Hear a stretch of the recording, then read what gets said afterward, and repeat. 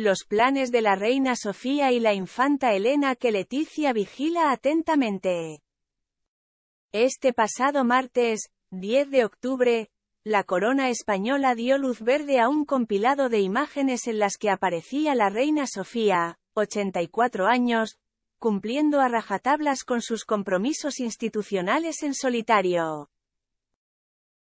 En concreto, la madre del rey Felipe presidía una nueva entrega de los premios sociales Fundación Mafre 2023, en Madrid, tratándose de una cita a la que nunca suele faltar.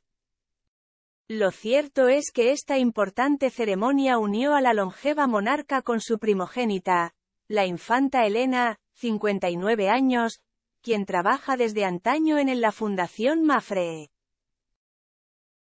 Dicho de otra manera, madre e hija han coincidido una vez más gracias a la entidad que tiene como objetivo el reconocer a una persona, organización o proyecto, que ayudan con sus respectivos trabajos a vivir en una sociedad menos desigual. La reina Sofía en la entrega de los premios sociales Fundación Mafre 2023 con su hija, la infanta Elena. Si bien se trata de un compromiso oficial, donde bien podrían estar los reyes de España, es preciso destacar que solo lo preside la reina emérita. Lo que supone un acto que Leticia Ortiz prefiere evitar, sobre todo teniendo en cuenta que en dicha institución se desempeña laboralmente su cuñada, Elena de Borbón, quien desde hace años no ejerce como miembro en activo de la Casa Real.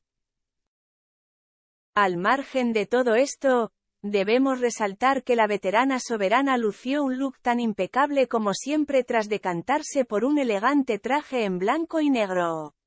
Este conjunto, estaba compuesto por un pantalón oscuro y una blazer muy delicada que, como podremos observar a continuación, cuenta con auténticos detalles de encaje en la zona de las mangas.